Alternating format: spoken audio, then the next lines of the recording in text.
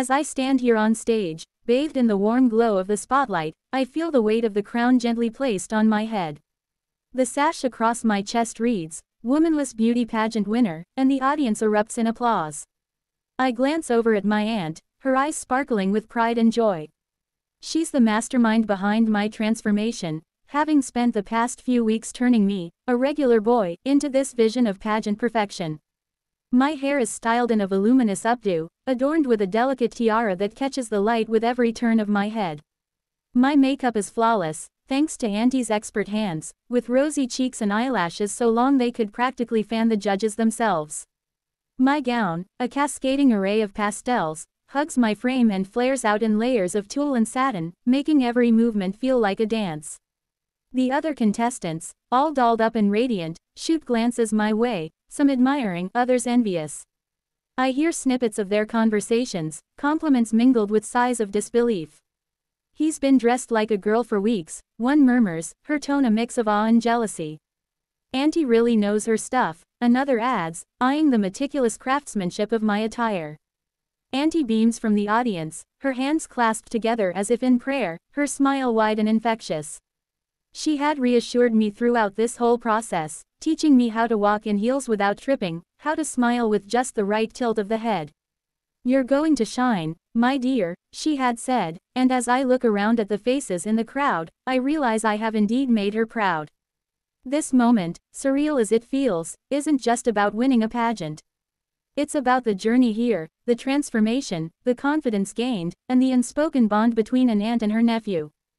As I walk down the runway one final time, my sash catching the breeze, I carry not just the title of the pageant, but also a deeper understanding of the artistry and affection that brought me here.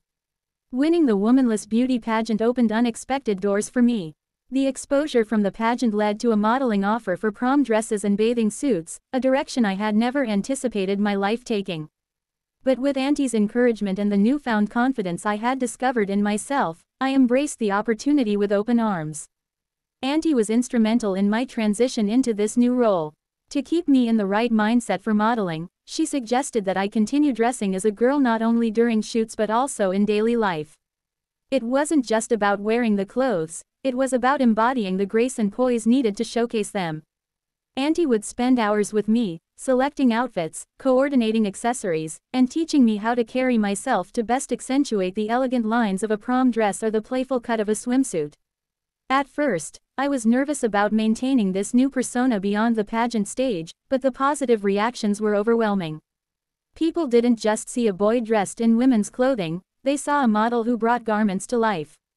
The attention I received was different from anything I had experienced before, it was affirming, uplifting. Fans of the brands I modeled for often reached out with messages of support, admiring the boldness and uniqueness of the campaigns. I found joy in the art of transformation. Each outfit was a new character to step into, each shoot a performance. The world of fashion, with its boundless creativity and constant reinvention, felt like home. Auntie watched proudly as I flourished, knowing that her guidance had led me here. The feminization process, initially just a means to an end for the pageant, became a cherished part of my identity. I reveled in the nuances of fashion and the subtle artistry of makeup. Each morning, choosing an outfit and coordinating makeup wasn't just a routine, it was a joyful expression of the multifaceted person I had become. Through this journey, the bond between Auntie and me grew even stronger. She wasn't just family or a mentor, she was a collaborator in this beautiful act of creation, of crafting a persona that was as much a part of me as any other aspect of my identity. As I continued to model, breaking norms and setting trends, I knew I was exactly where I was meant to be, draped in fabrics that told stories, and living a life that was as vibrant and intricate as the dresses I wore.